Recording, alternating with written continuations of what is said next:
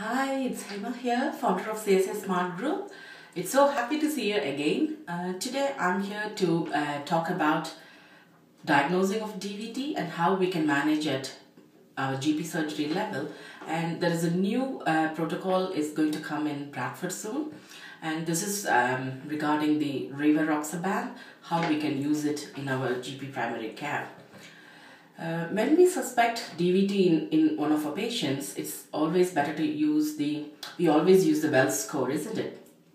Wells score involves the active cancer within six months of palliative, paralysis or recent plaster immobilization of the lower extremities, recently bedridden for three days or more, or any major surgery within 12 weeks, localized tenderness along the distribution of the DVT, uh, system, entire leg swollen, calf swelling more than 3 centimeters, pitting edema confined to the symptomatic leg and collateral superficial veins, and previously documented DVT, or alternative diagnosis is um, at least as likely as uh, DVT.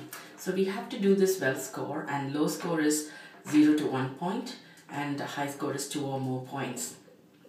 So when we do the Wells score, uh, basically what we have to make sure uh, to do like D-dimer, clotting screen, renal function, full Gluconeogenes, LFTs and CRP. And um, then we have to look for any contraindication for the primary care treatment with rivaroxaban and they are like pregnancy or breastfeeding or postpartum, age less than 18 years.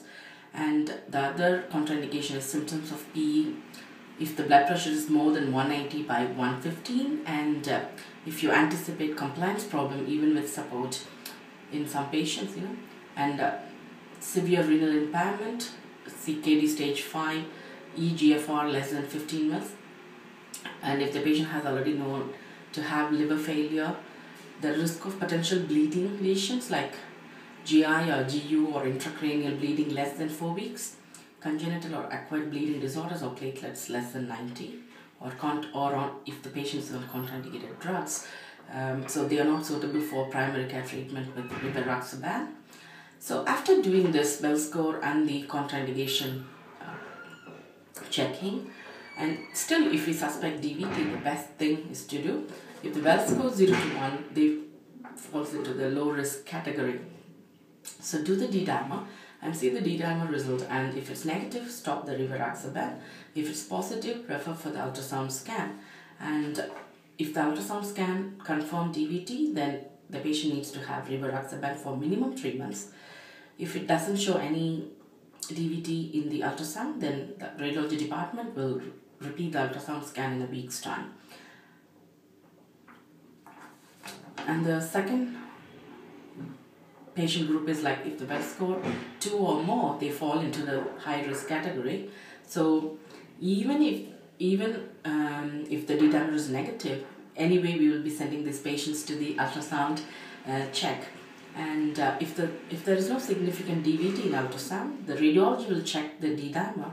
And if it's positive then they will ask the patient to come back again in a week's time for repeat ultrasound scan. But if it's negative the radiology will discharge the patient back to our GP and we have to stop the rivaroxaban. So that is the new thing, new protocol for um, managing DVT, suspected DVT in primary care level. And with a positive result, how we have to treat the patient is like we start the rivaroxaban 15 milligram BD and then if it's if its ultrasound showed any DVT, then we have to continue the rivaroxaban for 12 weeks in total, but the remaining is like rivaroxaban 20 milligram OD. So that is the main thing. The 15 milligram BD should not be repeated. That's the one point we have to note. So that's it. It's all about the new tablet rivaroxaban, otherwise called Xarelto, and um, um, make sure like how to how it can come in CSA scenario, and um, see how you can blend all those checklist, the Wells score, and uh, the contraindication to rivaroxaban in your uh, history taking itself and make it smooth and sleek. And don't forget to get the support system, uh, the occupational impact, psychosocial impact, um, and everything, you know, to uh, give the holistic care. And um, see you soon um, in the next free videos and share with your friends. Okay, bye bye.